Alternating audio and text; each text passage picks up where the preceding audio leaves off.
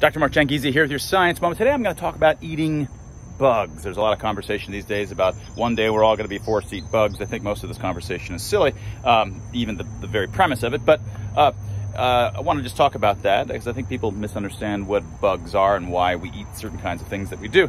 Um, so again, uh, this is sponsored by Vino Optics. This is the company that comes up out of early research of mine from 20 years ago and why we evolved color vision. We've got color blindness glasses, vein finder glasses, the only ones in the world. You just put them on, you can see your veins better.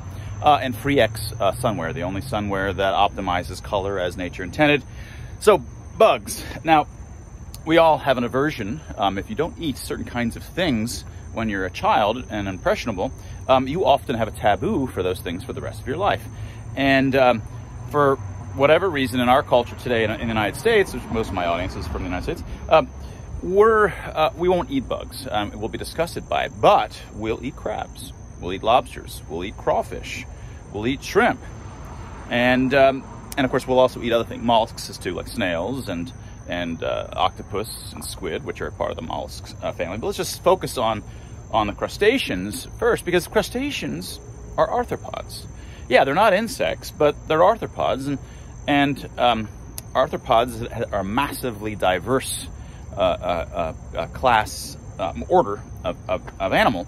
And there's just tremendous variety of things for which we have picked just a few things which are totally okay, and I'm totally okay to eat those. But when you look at the entire um, huge repertoire of things that are in there, they all disgust us. And so the idea that we should be disgusted by eating insects or spiders or other other um, classes within that uh, within that within that whole uh, phylum, so it's a phylum, um, then it's, it's, just arbitrary. Um, now, there are probably some kinds of insects and some kinds of arthropods which are genuinely unsafe to eat. They may be poisonous, they may have parasites, they may have, you know, some of those things are not potentially good ideas. Either they're too, too little meat or they're hard to raise. There's lots of good reasons for why some of them would be the kinds of things that would be more palatable, um, easier for humans to eat, easier to farm, various kinds of things.